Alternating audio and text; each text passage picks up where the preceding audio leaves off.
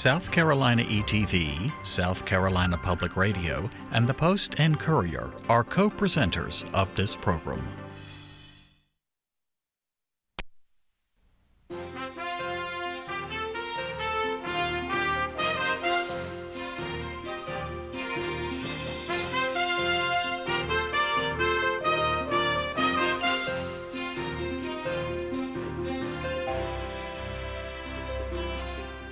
Good evening and welcome to the 2018 Republican gubernatorial primary runoff debate. From the Newberry Opera House, I'm Charles Bierbauer. Joining me tonight to question the candidates is Andy Shain of the Post and Courier. The top two vote getters in the Republican primary 10 days ago join us this evening. They are Henry McMaster and John Warren. Before we begin tonight, our ground rules. Each candidate will have the opportunity to make a one minute opening statement. From there, they'll have one minute to answer each of our questions. If necessary, I will allow a 30 second rebuttal. We drew uh, positions when the candidates arrived for the starting order. Governor McMaster will begin with your opening statement. Uh, thank you, gentlemen. Ladies and gentlemen, appreciate you being here. John, appreciate you being here. And I appreciate the television audience being here. I am proud to be your governor. There's nothing I would rather do, and that's why I'm doing this, and that's why I'm running for reelection. I'm proud of South Carolina. Everywhere I go, I try to look and act and do the things that you would expect your governor to do. In this race, we've heard a lot of negative charges, a lot of negative negativism. I don't believe in that. I think that the governor's purpose is to inspire the people to lead and to make things happen for the betterment. Today I was meeting with two different groups of people. Volvo's expanding their plant down in towards Charleston, and also I met another group that's talking about investing $4 billion.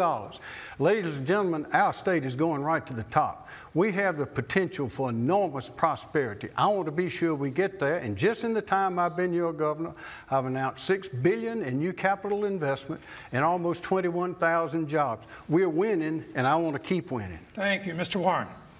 Good evening. I'm John Warren. I'm extremely happy to be here tonight. You know, last Tuesday, Republican voters across the state said, We do not want Governor McMaster's failed leadership. Over 58% of the voters said that.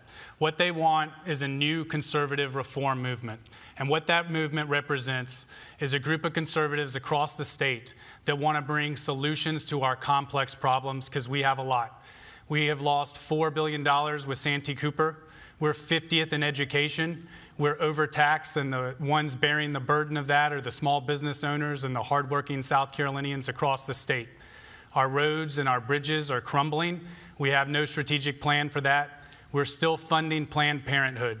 We have got to have new leadership, someone that can come in, bring positive change, positive solutions to our complex problems, and that's what I'm going to do as governor. Gentlemen, thank you. Uh, let me ask this first question to, to both of you, starting with, with Mr. Warren. Your race has had a lot of labeling, not all of it very uh, flattering, but it comes down now to the two of you. One has been called a career politician, the other a rookie.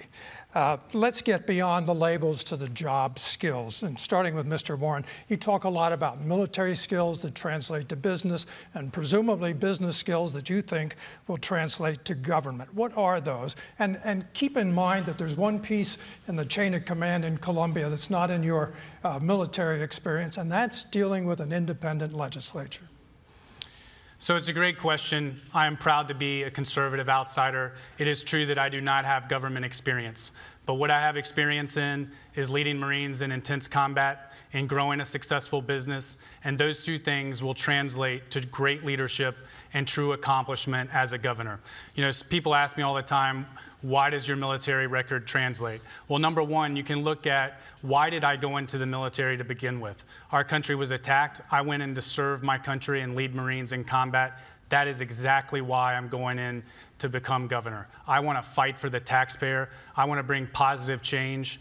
You know, in the military, in combat, we face a lot of obstacles. I know how to manage crisis and I've done that repeatedly. And in terms of growing a successful business, I know the complex world of what all of our small businesses are facing because I've been there. I've created hundreds of jobs. I know how to bring companies to, to South Carolina because I've brought billions of dollars of investment myself here. And that's why uh, I asked the people to elect me. We've got to have someone with the right core competencies to lead this state. Thank We've got to have someone who's been successful in the thank, private sector. Thank you. Uh, Mr. McMaster, from your experience, what, what did you learn moving from lieutenant governor to governor? And why couldn't an outsider, if he's a quick study, pick that up? Well, because there's, there's, a, there's no real time for a learning curve. The, the governorship is not a place for on-the-job training. You have to have a basic understanding of how the government works and what your limitations are in the government and what, what your advantages are. But I need to go back about half of what my opponent said was wrong a little while ago. We've got a 10-year plan for fixing the bridges. It's been implemented for over a year now, and Christy Hall issued a statement this morning. We got more people working now in South Carolina than we've ever had working before. Our unemployment rate is the lowest it's been since 2000. As I mentioned, I've announced, I've announced since I've been here $6 billion in new, in new capital investment and almost 21,000 jobs. I was with Nikki Haley this morning. She came down to Volvo, where she was instrumental, of course, in bringing them to South Carolina. I worked with them to get them to expand even before they started producing cars. We have to accentuate the positive in order to fix the problems we have. You can't go around, the governor of all people, if you can't be positive, you shouldn't be governor. Governor, I was hoping you'd answer the question of what you learned when you shifted offices from lieutenant governor to governor, and maybe you could tuck that into this, this follow-up question. Okay. What rookie mistake are you concerned that Mr. Warren might make? Well, there could be a lot of them. One of them that, uh, that Mr. Warren and the others had announced was going to the legislature and, and bullying the legislators. Well, that's not the way to get things done. The governor must go to the legislature in order to, to work with the legislature. In politics is the art of addition, not the art of subtraction. And what you must do is to find ways to work with the people to convince them of the things that they need to do to get the job done. And you have to be positive in order to do that. But there's a lot of knowledge that is necessary to understand the way government functions and why it does not function. And to have a chief executive who is in, in charge of seeing that it functions, who does not know how it functions, is a dangerous thing to do. Now, I do, I, I uh, salute Mr. Warren on his military service, his honorable service. We have about 400,000 veterans in South Carolina and a strong military tradition. But the government is not the military. There's a difference. I have the experience and I have a record of getting things done, very innovative things. I want to continue doing that. All right, and, and to Mr. Warren, what, what career politician flaw would you attribute to your opponent? Well, first of all, I find it very ironic that he thinks no experience is a negative when the more you tout than anything is the fact that you're supporting President Trump. President Trump had no government experience, and I think you're going around telling everyone, which I agree with, he's done some amazing things. So we need someone who's an outsider like Donald Trump to go to Columbia and drain the swamp. Uh, specifically, when we talk about career politicians, you know, you can work with the legislature. We've got a ton of great legislators, and I look forward to working with them. But we've got some rotten apples, one of whom you endorsed, Hugh Leatherman. Hugh Leatherman has been one of the worst things to hit South Carolina for the last 30 years. Hugh Leatherman doesn't care about our state. He doesn't care about making things better. He is profiting off the taxpayer. I'm not going to work with him, and I'm going to try to take him out in the next legislative or the next election in two years. And we've got to have someone that is going to fight for the taxpayer, and that's what I'm going to do. I'm going to bring true conservative reforms to South Carolina. Thank you. Andy Shain has uh, the next question. May I have a rebuttal? Uh, specific to, yes, of course. Yes. Donald Trump is a friend of mine. We have worked together. I campaigned all over South Carolina and parts of North Carolina with him. Donald Trump has been involved in politics for, for decades. You know, he, they wanted him to run for governor of New York. He, what, he elected, what elected position did he Donald Trump in, have? He has been immersed in politics for many, many you years. You can't cite anything that, that, he's been Mr. involved Warren, in. I'm speaking. He's been involved in politics. He's a world figure. He is a well-known person. How has he been Donald involved Trump. in He's politics? He's a friend of mine. You're a good man, but you are not Donald Trump. And you were nowhere to be found during the Trump campaign. I campaigned for Donald Trump, work for him in the primary. You were for Ted Cruz. To pretend that you're a follower of Donald Trump, Donald Trump is just inaccurate. Thank you, Governor, misleading. Thank you. the We're gonna- we're- we're hold on move- gonna second. move- no, The- We're going to move on to Mr. Shain's question. It will start with you, Mr. Warren. Okay. You each have spent a great deal of time campaigning around this state. What do you think the average South Carolinian is really concerned about? And this is Mr. being Warren. Mr. Warren. I'm sorry. It Thank starts you. with Let's you. start with you. Well, I think it's multiple things. It's economic opportunity, it's education. When you look at all of the problems that we have going on in our state, it's massive. We're not winning. Political cronies are winning. So, you know, to begin with, those that are uh, using power from SCANA, uh, Santee Cooper, SCE, and G, they're not winning. Their rates are gone up. They're continuing to pay for a failed nuclear plant.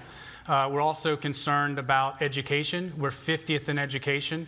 Uh, it's getting worse. We don't have school choice. We're, we're still funding Planned Parenthood. Our roads and our bridges are crumbling. Let, let- let me start. What, what do you think, talking to voters out there, what are their main concerns?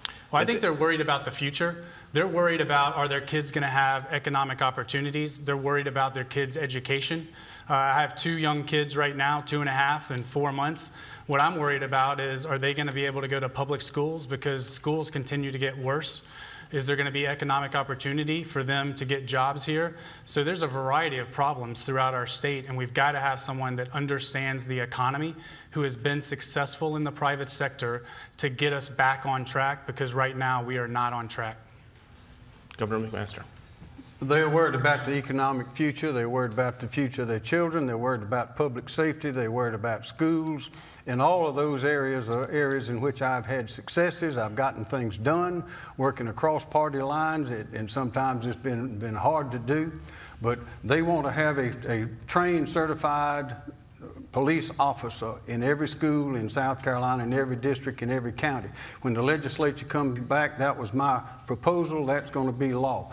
We also want no tax money, no tax money to go to Planned Parenthood. I've started that process. We will see that that's cut off. But the main thing that they want, they look, they're looking for leadership in the economy to have a new kind of prosperity that will lift all boats. And the answer to that, I know because I've been there, is with the technical college system in South Carolina, which everyone says, including Wilbur Ross, U.S. Secretary of Commerce, is the best in the United States.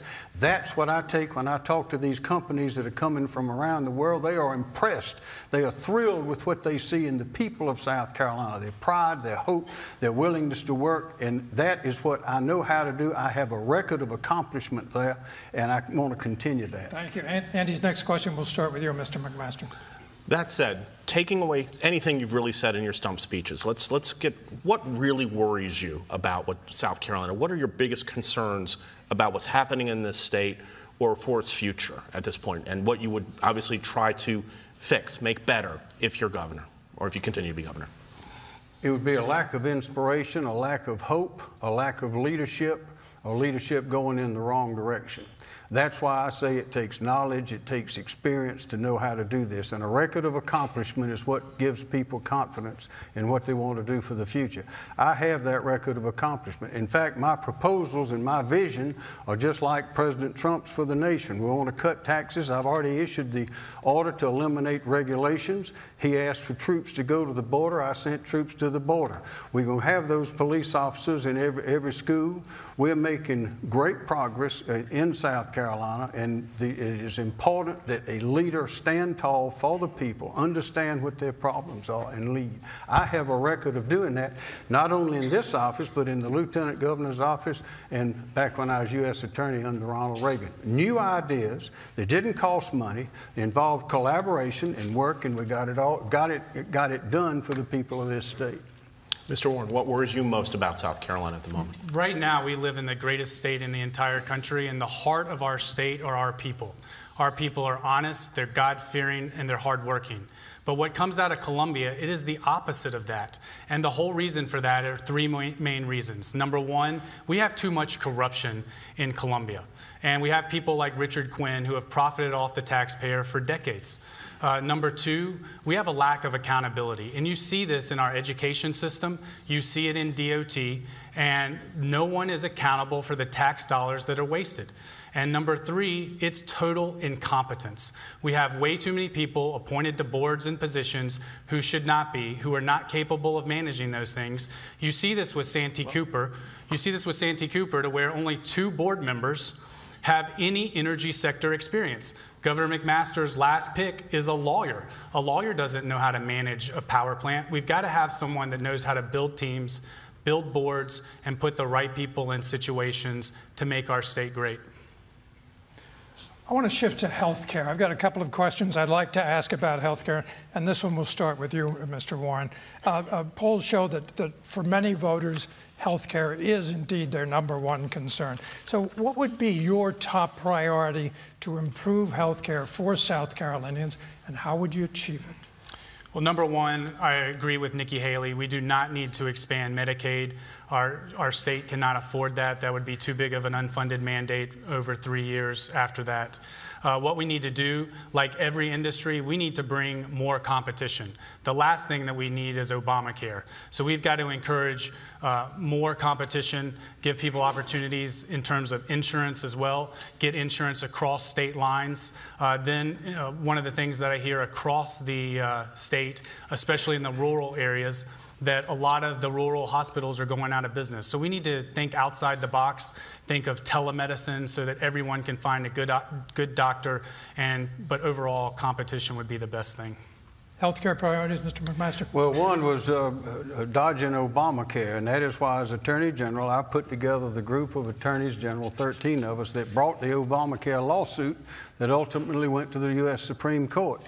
Now, uh, it, part of it remains intact, and fortunately, President Trump has taken care of that. That is a it is counterproductive, it is an abomination, and we need to, to get rid of it and get back to competition. But what I've done, if I, I have promoted a bill to allow nurse practitioners to work out into the rural, rural areas without having the limitation on the number of miles from which they could be from a supervising physician and how many had to be there. We've gotten rid of that. So that will open things up out in those areas. I promoted telemedicine. I promoted uh, healthcare clinics and, and, and, familiar with how, how those works.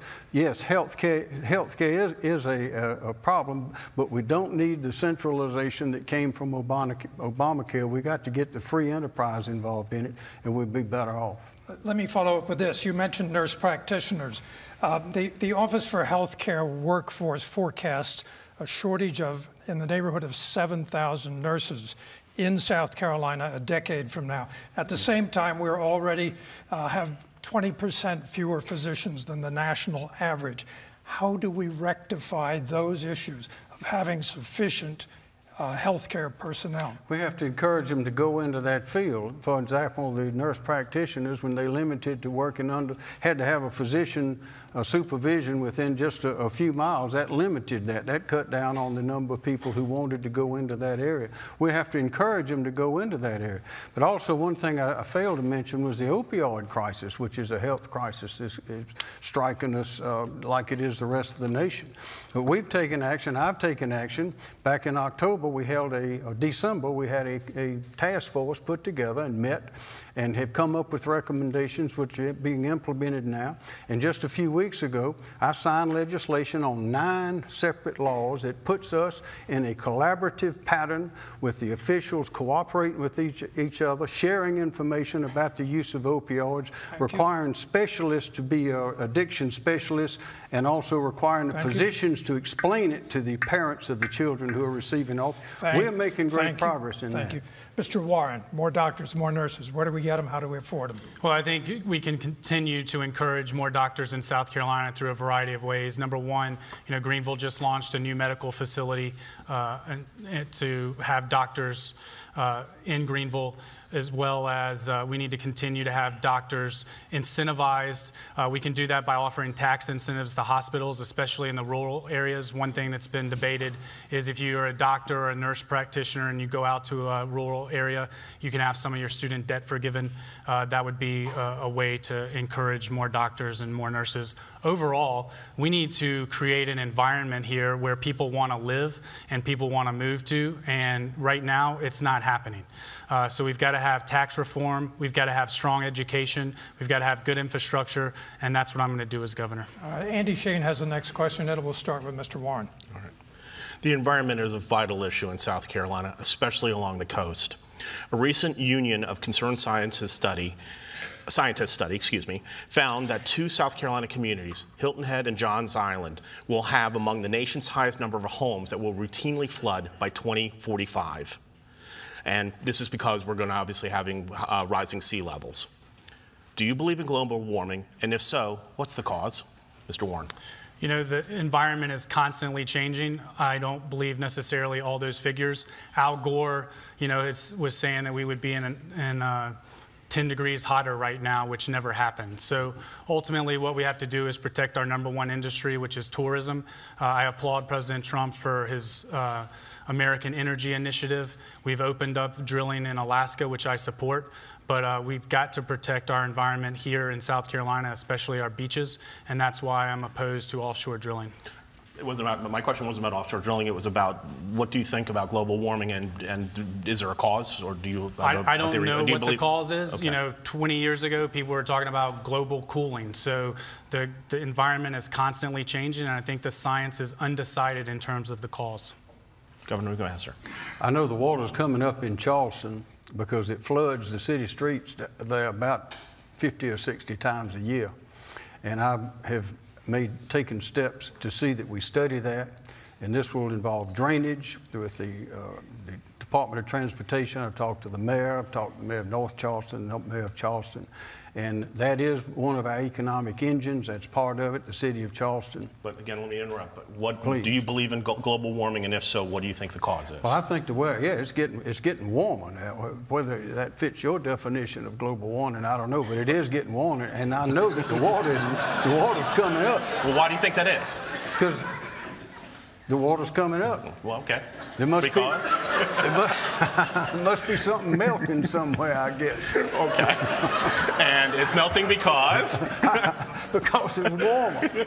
But uh, this is, this is uh, they're, they're, the people that study these things, it goes up and down. I mean, it certainly is going up now, and it, it's a real threat to us. And, and uh, this same thing along, along the coast uh, we had uh, we, we got to be very careful with the coast, but we have to protect that economic engine. And I'm opposed. I was one of the first to come out to oppose the uh, drilling offshore and the testing. I've talked to the president about it, talked to the Secretary Zinke about it. We're making progress on that. And let me tell you, this association with that administration is something that's important to the state of South Carolina. Thank you. Thank you. Uh, Andy, your next question starts with Mr. McMaster. Very good. Uh, we asked for some questions from our Post and Courier Palmetto Politics newsletter readers, and we have one from Wayne Floyd of Charleston who wants to know where do you stand on offshore drilling, and are there any circumstances where you would want to allow it? Where was he a minute ago? you know, so we had the question, so we want to go on. Yeah. He's watching. He's watching. What's his name? Uh, his name is Wayne Floyd from Charleston. Wayne Floyd. And what? he says he's, he's a native, so there we go. There you go. Well, he knows that the water's coming up all over. I'm opposed to it, and I, and I tell you why. And I, am glad that the, the city of Greenville has come out, the city council uh, has come out and has opposed the testing and the drilling offshore. That is a major industry, an entire tourism industry. That is, a, I mean, we're living in paradise, and that's certainly a part of it. But uh, offshore drilling, number one, well, we, it, it's not necessary for national security. Number two, we can't take a chance with our coast. We do not have an industrialized coast. We don't want one. We're not set up that way. We're the complete opposite. We have people living in vacation on our coast. Number three, we don't have any place to put all the support mechanisms, the tanks and the trucks and the traffic, the refineries and all that that would be have to com- accompany it. Number four, we're right in the middle of a hurricane zone, unlike any place else. How about an oil spill and a hurricane at the same time? And number five, they just found found out we got bombs, ordnance from World War II dumped out there. Thank you, Mr. McMahon. We ought not drill out there. Mr. Warren, same question. You, you, you discussed offshore drilling you discussed offshore drilling earlier, but obviously, would there be any circumstance that you could you could imagine offshore drilling off the coast of South Carolina? So I do not support offshore drilling. I uh, think again. Uh, we need to become less dependent on Middle Eastern oil. Uh, we do that by drilling in Alaska. We do it by encouraging drilling in the Dakotas, in Texas. Uh, our number one industry in South Carolina is tourism. I will protect that. I'm also a conservative, which means I believe in local rule. And I can tell you that if someone said in Greenville, we need to mine Table Rock or mine uh, Paris Mountain, I would be against it. Uh, so we've got to encourage that number one industry and protect it, and that's why I would be opposed to offshore drilling. What we need to do is encourage uh, more innovative energy sources like solar energy. We need to lift the caps. Uh, to prevent people or encourage people to go solar if they choose, and also encourage more competition in our energy sector here in South Carolina. Gentlemen, I want to drill down, as it were, further on health care. A couple more questions. Uh, and this will start with you, Mr. Warren. How would you approach the state's certification of need, which some physicians say uh, limits care to hospitals by constraining independent surgical centers and presumably adds to the cost? I would encourage independent surgical centers. Uh, I believe in competition. I think we need to encourage more of the private sector. Uh, more companies need to be here, uh, and that's what I would do for that. We don't need the certificate of need program that, that we have now. There may, may be some part of it that should remain, but it, uh, probably 99% of it ought to be gone. That is the only way to see that we have true competition, and through competition, that's, that's where we have more health care. Can that be eliminated by only by legislation? Yes. Okay. Let me ask another one. You, you both mentioned Medicaid. South Carolina is one of 17 states that has not expanded Medicaid.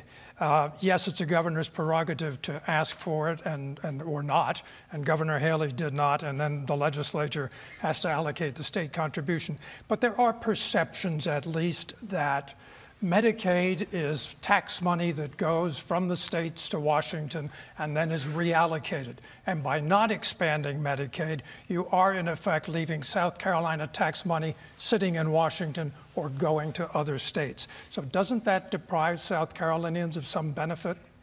No. Uh, and, and I think we're starting this one with you, Governor. No, it does not, because that it, it doesn't work that way. It, it, our money is not going somewhere else uh, we are not getting that money, but with that money comes strings.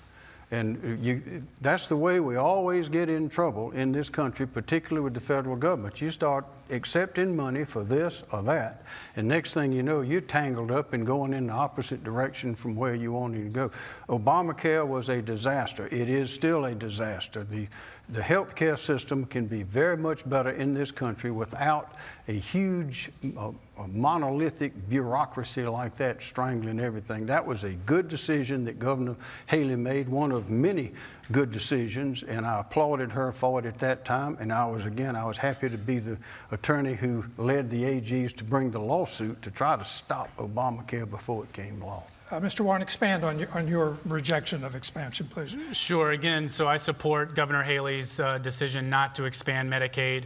Uh, when she did that, what it required was the government, the federal government, was going to give us 70%, and we were going to have to come up with 30%. That 30% was very significant.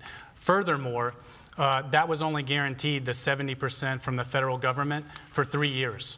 So potentially we could have expanded and then been on the hook for the, the rest of the 70%, which could have bankrupted our state.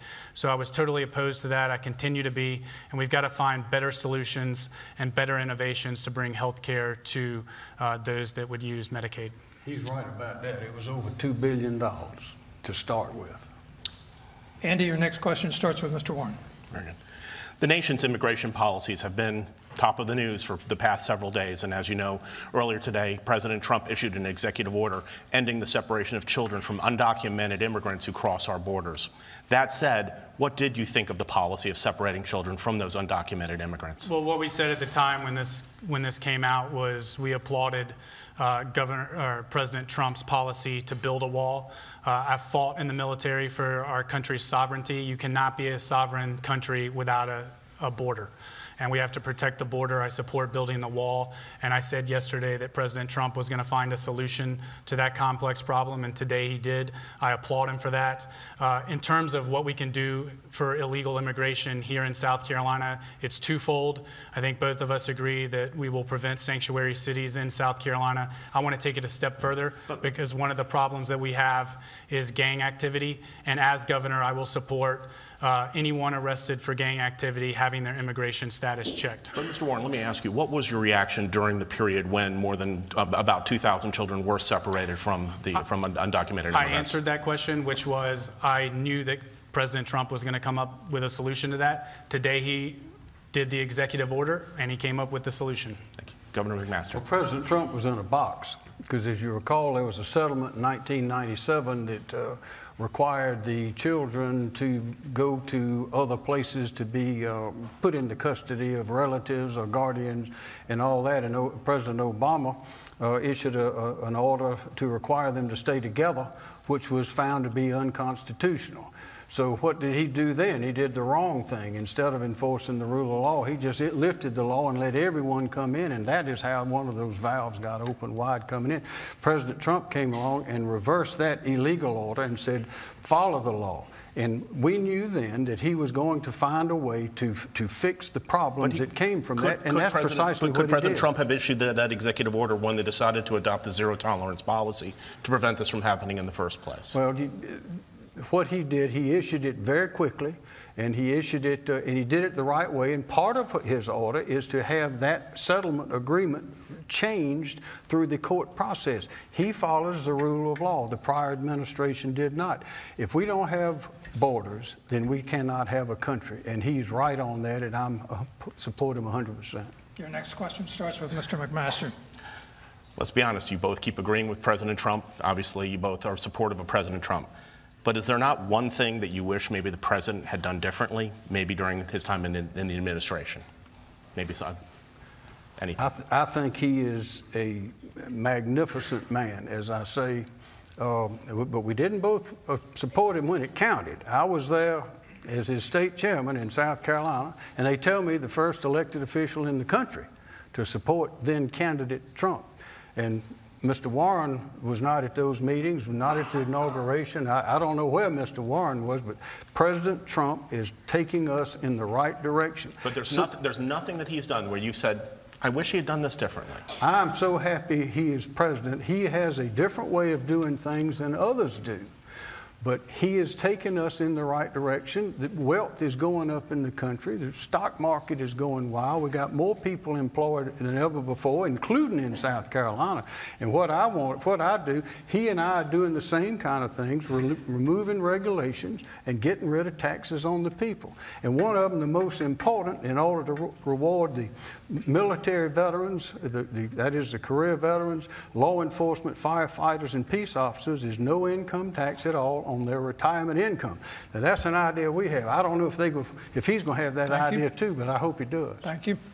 Mr. Warren. Well, where I was during the inauguration was I was in the private sector creating jobs and being a productive member of society. Uh, in terms of President.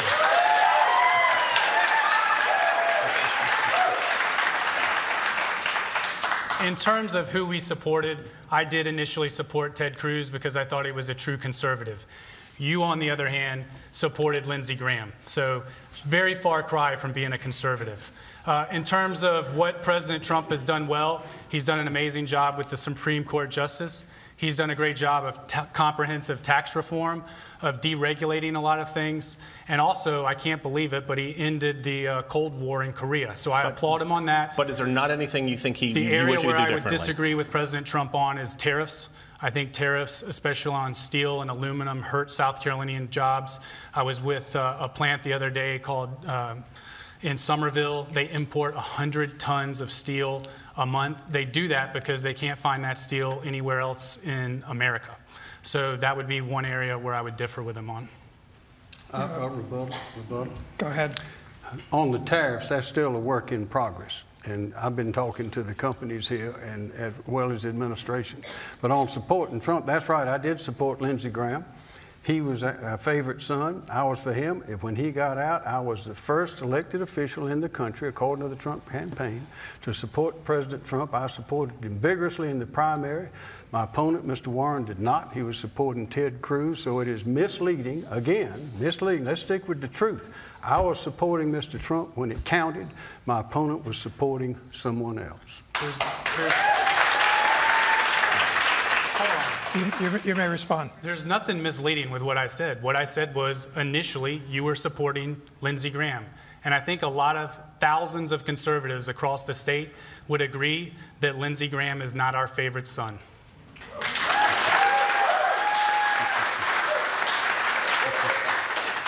Andy has one more question in this round. It will start with Mr. Warren. Okay. It was announced yesterday that President Trump and Vice President Pence are going to come here and campaign for Governor McMaster in the final days before the runoff. It's uh, really visits that have been called unprecedented. Um, for Mr. Warren, let me ask you first how is this not a rebuke of your claim that you are the candidate that's most like Donald Trump in this election? Uh, ultimately, my support have a lot of Donald Trump supporters.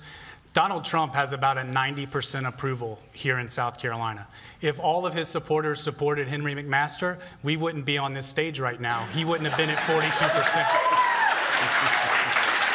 so, so when you look at our record and our record of accomplishment, Donald Trump is anti establishment. Donald Trump is anti politician. I am the only person on this stage that has ever been successful in the private sector. I am the only person that's going to go down to Columbia and fight for the taxpayer. One thing that uh, Governor McMaster always talks about is Donald Trump. But the other thing that he never mentions is the taxpayer. I am only beholden to the taxpayer, and that's very similar to Donald Trump.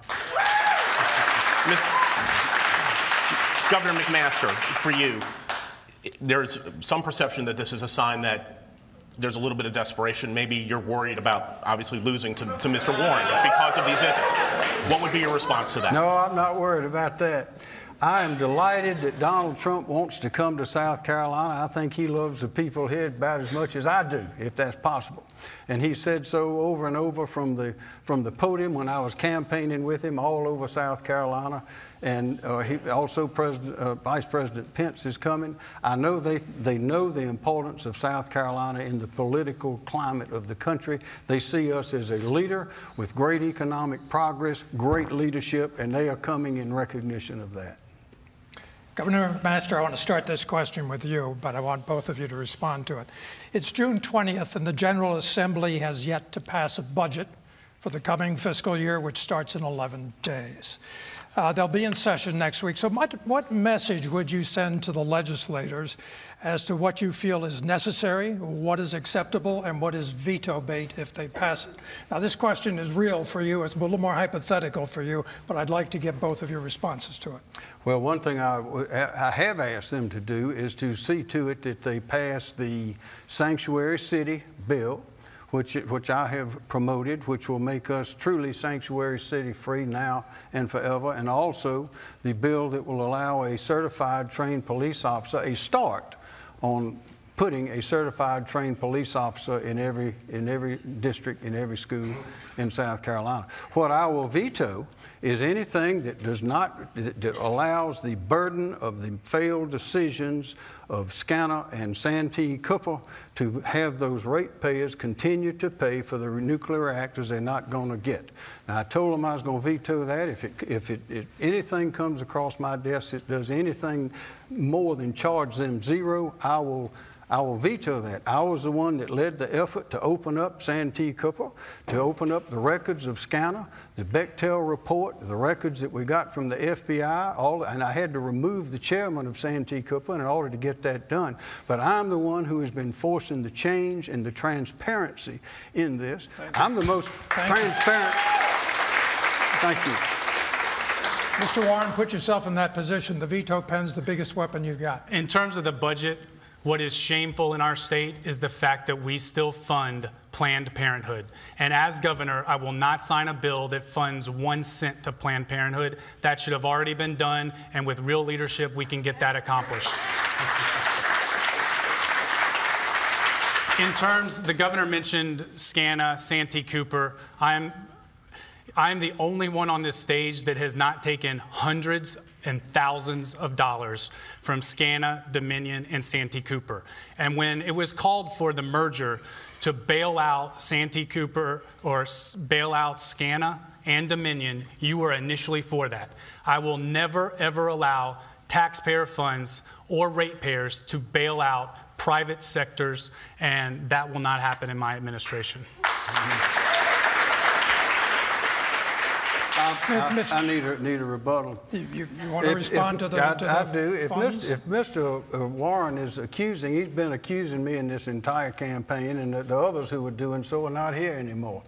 But if he's accusing me of somehow showing favoritism for Santee, Cooper, and SCANA, I think he needs to go back and look at the record because I'm the one that opened up the, all the what had been happening, the misdeeds and the corruption, and I am the one who began that process. I'm the one who now has the legislature agreeing with me to set up a group, a commission to receive the offers and such to see that we do find a common sense of free enterprise solution, whether it's from Dominion or someone else. But I have said I will veto anything that requires those customers to keep you. paying for those reactors. Mr. Warren, you may have 30 seconds for a rejoinder. There are two facts that are without question. Number one, you initially supported taxpayer funds bailing out the merger of SCANA and Dominion. Number two, under your leadership, the ratepayers in South Carolina are still paying for a failed nuclear reactor that is never going to come online, and that would not have happened had I been governor. Well, you would have had been governor about 20 years ago when all those laws were passed. You blaming me for those laws and all you, that you're saying Mr. Mr. Warren, you need to know how it works. That's, that is, I understand how it necessary works. And to have some have, knowledge of government if you're going to be governor. What you have Mr. are, Mr. Warren. This, this is an example of failed leadership and excuse after excuse after excuse. We have got to have real leadership that can take responsibility for the problems that we have and come up with solutions rather than just everything's great in South Carolina. Let's, let's uh, Let's stay in the State House for a moment because this is, this is the reality of the relationship that exists between the governor's office and the legislators. In the last debate, Mr. Warren, I want to start with you on this question. Um, you, you kind of laid into Hugh Leatherman four times by my count, once so far tonight. Is that it? A lot of people, that, that was all. a lot of people refer to him as the, the most powerful man in Columbia. So, how are you going to deal with this guy? He's the reality you would face if you're in the governor's office. Ultimately, I believe that we have so many great people who are serving the taxpayers in Columbia. You know, there were over 300 positive bills passed in the House. The problem is they get to the Senate and they oftentimes die. We have got to have a governor who is going to fight for the taxpayer. Governor McMaster supports Hugh Leatherman you cannot work with Hugh Leatherman if you're a conservative. So, what I will do, and what I said from the beginning of this campaign, I will systematically target the few rotten apples that we have in the Senate. I will find quality candidates to run against them.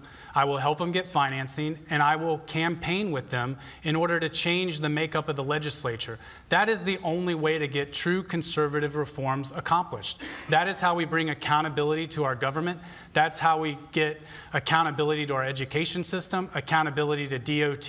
You cannot work with Hugh Leatherman. He doesn't want to work for the taxpayer, and I will not do that as governor. Mr. McMaster, how do you deal with Leatherman? Well, it's the way I've been dealing with him. There's some, some things where if uh, Mr. Warren were to look at the record, on the Senate record, to see things that Mr. Leatherman was uh, proposing that I ruled out of order a number of times, which stopped it right there. I have not agreed with him on many different issues uh, in the time that I've been lieutenant governor and governor, and, and he knows that, and I know it, and I think everybody knows it except Mr. Warren. There was a clear choice two years ago when Hugh Leatherman was up for election. It was Richard Skipper, who is a good conservative Christian businessman, and there was Hugh Leatherman. And you were on the side of Hugh Leatherman. That's just a fact. That's not me misleading anyone. That's just a fact. And that is wrong for the taxpayers of South Carolina. That's one of the reasons why our roads are crumbling, why Florence has interstates that no one uses there, but the rest of us suffer. Andy Shain's next question starts with Mr. McMaster. South Carolina has been getting a lot of attention from the business community. It's fair to say we're becoming a global state. You think about BMW, you think about companies like Giti Tire or like Samsung here in Newberry, or like Volvo, of course, which just debuted the car that it's going to build outside of Charleston. That said, with all that attention, we still have monuments to the Confederacy and post Reconstruction that offend some people, hurt some people. Is it time to remove those monuments and also try to promote changing the Heritage Act, which makes it difficult to remove those monuments? Well, you're right. There are a lot of businesses all around the world that are looking at South Carolina, and I was with two of them this morning. They are very positive about our state.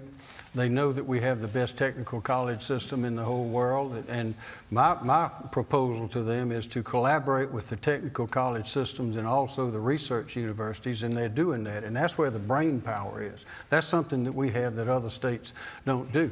But in 2000, we passed the Heritage Act. I supported the Heritage Act. It is a good act. I believe it should be enforced. But do you not think that it's too high of a bar for, especially like local governments, to just want to make some simple changes? It, still, it takes two thirds majority of both the House and the Senate in order for anything to be, Mr. to be Cheney, changed. as you remember, there was a lot of debate over a lot of years about these very issues, and that was resolved in the Heritage Act, which passed. I don't think it was unanimous, but it was a, it passed with a very with very strong support, not only in the legislature but around the state. I think it is a good law. It is the best approach that we've come up with so far, and I, I support it 100 percent. Mr. Warren.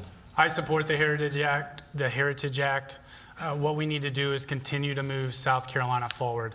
Uh, what we saw with the Mother Emanuel shooting was a unification of our state against hate. You see that we have a strong uh, state, that we're unified, that we share so many core values. I will continue to promote that as governor. Do you think at all that, that by removing these monuments or by making at least some change to the Heritage Act to put it in the hands of local governments these, might, might, these might, monuments might are not impacting anyone in a negative way. I support the Heritage Act, and we need to move on and focus on the real issues that are affecting South Carolinians across our state. Your, your next question, Andy, starts with Mr. Warren. Um, you are two white candidates who want to represent residents in a state where one out of every three South Carolinian is not white. How do you relate to the experience of minorities in this state, and how do you help minorities, a larger percentage of whom are in poverty? So I think when you look at my, my record as an adult, I've served in very diverse organizations. The Marine Corps provides an amazing roadmap as well as all of our military branches. Uh, we have so much diversity in the Marine Corps. Same thing at Lima One Capital. Uh, we have a diverse workforce there. And what makes those two organizations so unique is that they focus on two things. Number one, we hire people based on shared core values, and then we train them to uh, help them uh, be trained for the job specific role. As governor, what I want to do, I want to rise allow everyone to rise. I want to bring hope to all of the people of South Carolina. We do that with our education system. We need more school choice. No parent should have to send their child to a failing school. I want to do it with the tax code. I want to lift the taxes off of so many South Carolinians that keeps them in poverty. And that is the way to provide economic opportunity and hope for all South Carolinians. Governor McMaster. Over the years, I've been to the so-called Corridor of Shame. I've had experiences uh, all over the state, and I know that, for example, that poverty is the enemy of education. So how do you how do you get rid of, of poverty? Well, you have to have economic growth. You have to keep the people safe and you have to have good schools. But in order to have the money to do these things, you must have great economic growth. That is why the economic prosperity of this state is, is my core focus on moving all the people forward. I believe as the Good Shepherd would leave the 99 to go find the one, I think that's what we must do. We, we have families that are dysfunctional in South Carolina. And if you look closely, you'll find out that we have several generations, seven, several generations, one, two, three, or four, in the house where no one has held, held a steady how, job. What, what, you what, do it through economic growth. You, okay. do it, you do it through having good teachers and good schools. We're going to have to consolidate some schools to save, save some money money. We're going to have to have that police officer, trained police officer in those schools, and we have to build this economy to open the door and provide a ladder up for all of those people. And our technical colleges are really the key to doing that once we get them up through the third grade. It's, it's a difficult task, but, but we can do it. We have people that are dedicated to doing it, and I'm one of them. And now that I will be in charge of appointing the superintendent of education, we will get a lot more done in South Carolina in education reform. That doesn't come until 2022. That's right, but I'm starting now. Okay. I hear you. I hear you both. I hear you both talking about cutting taxes. I think you said you'd want to cut 2.2 billion dollars and 15%. And and Mr. Warren, you've talked about closing loopholes. I don't hear the specifics. So where are those tax cuts? That's the income tax. Where to and Yeah, by how it, much? take it for fifteen percent. It's seven percent is the highest tax now. Take it down fifteen percent. That'd be just under six percent, I think. North, listen, North Carolina and Georgia and all the other southern states and Kentucky and uh, Tennessee are competing with us. I talked to the people there. I know a lot of them, and they are competing with us. North Carolina cut their income tax in order to compete with us. Georgia just recently, about a month ago, cut their income tax in order to compete with us. What we did, we raised our gas tax when we didn't need to. If we'd just been spending all the money that came in from it on the roads to begin with, that's why I vetoed that tax. But when they saw us doing that, what they do? They cut their tax on gas. See, we, we, we are in a fierce competition. That is why, at this moment, the most important thing we need to do is have experienced leadership in the chief executive's office, in the governor's office. We cannot drop the ball now. We cannot slow down now. We don't have time for on the job training. We have to keep pushing in the very successful direction in which we've been going. Thank you. Where are those loopholes you're going to close, Mr. Warren? Governor McMaster talks about he's in favor of tax cuts. He's been governor for over a year and we haven't gotten any. So we need to change the coach. Uh, number one, what we have to do is we need to go ultimately to a fair tax. If Tennessee, if Texas, if Florida, if those states can do it, we can do it. That would stimulate so much economic opportunity. You have to do it incrementally. One of the major steps in order to do that, what we could do is close the special interest loopholes for the sales tax. When the sales tax came out, 48% of the goods sold were taxed. But right now, it's down to 31%. If we just got rid of those special interest loopholes, we could cut the income tax by half and the overall sales tax by half. That would create a ton of economic opportunity. And we've got to have someone that understands the economy, who has created hundreds of jobs to get these reforms done, who actually understands how the economy works. We're, uh, we're in the home stretch, gentlemen. I'm going to ask you uh, for a 30 second response to this question. We'd like to get a couple more questions in here. This is the first time that candidates for governor are running on a ticket with a lieutenant governor candidate. The odds are the voters may know a little bit about you and probably less about your, uh, your running mate. So, can you tell us uh, what made you choose your running mate and what is it that he or she brings to the ticket that you might not? Mr. Warren. I'm very proud of the fact that I chose Pat McKinney. Pat McKinney is a Charleston native. He's been very successful in the private sector. Uh, he also has been chairman of the ports, and there he uncovered the corrupt Richard Quinn. There, Richard Quinn was getting uh, unwritten paid contracts. And what did Governor McMaster do when my lieutenant governor exposed Richard Quinn's corrupt uh, antics there? You didn't renew his contract. Who did you put in charge of the ports then? Uh, someone from SCANA. So I'm very proud of Governor McMaster. He's a, I mean, uh, Pat McKinney. He's a. Thank you. I'll take that as an endorsement. I'm very proud of Pat McKinney, and uh, I look forward to him serving as my lieutenant governor. Thank you, Mr. McMaster. Tell us about your running Well, mate. he's wrong about that again. I, I didn't uh, remove Pat. Pat had been, his term had expired a year before I went into the governor's Did office. you renew his contract? No, I didn't renew it, Okay. but I let it, but he stayed there until I got someone to come in. You got 30 Yeah. seconds to tell 26 now to tell us about your running mate. Well, there she is right there. Where's Pamela Evette? There she is. Pamela and her husband David, and I see the son Jackson. I think What does that's she bring to Jackson. the ticket that you don't? Man, she is a businesswoman unlike anybody, certainly on this stage. She's won every. She has won every award that there is national. She's number seven on the fastest growing female owned business in the world. She's won awards in Greenville. She has business, ec- but she is conservative. She was a trumper with Thank the you. inauguration together, and she gr- brings great skill Thank you. to Thank this. you. Thank you. Andy, your next question. All right. So besides spending time with your family, how do you de-stress? I mean, you both have stressful lives. How, what do you do to de-stress? Well, I chased my two and a half year old all, the, all around. I took him to the zoo the other day. I came back. What, I, what else do you, besides your family, what else do you do? I love going to uh, work out. I love going to the lake. I love studying military history, but ultimately, I just love spending time with my family. Governor McMaster. I, I love history. I, I try to read as much as I can. If you have not read, read Walter Edgar's History of South Carolina, you bet, better do it. They're still selling the books. I have a great wife, two great children. There's Peggy there. There's Henry D. right there. And Mary Rogers is in Scotland right now. But I got a bulldog named Little Mac. He, right now, he's 15 months old. He is a beauty. And I love that dog, and he is a stress remover. He's better than squeezing those little balls that you can get those little things. We've, we've got time for one last short question, Andy. All right. Um, despite having Republican majorities in the legislature and in statewide offices, consensus has been hard to find. What do you think is the source of the party's division right now? Well, I think what you have in the legislature, you actually have three parties. You have Democrats who believe in a liberal platform. They say they believe in it and they enforce the liberal platform. Then you have conservatives who believe in the Republican platform. And then you have Republicans like Hugh Leatherman who are actually Democrats and support the Democratic agenda. And that's why the Republican Party is split. That's why we've got to get more true conservatives to be Republicans and go down there and fight for the taxpayer. And that's what I will encourage as governor.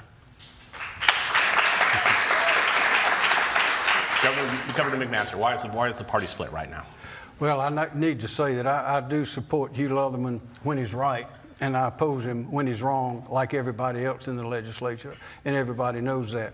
I think the party is split more at the national level than it is now. I have never seen such misleading information, such a lack of transparency, uh, such uh, lack of truthfulness at the national level, such division, and I'm not quite sure where it came from. I'm the most transparent candidate that we've, we've ever had. I've put out 17 years of tax returns. My life is, is an open book. My opponent has declined to do that. I wish he would do that.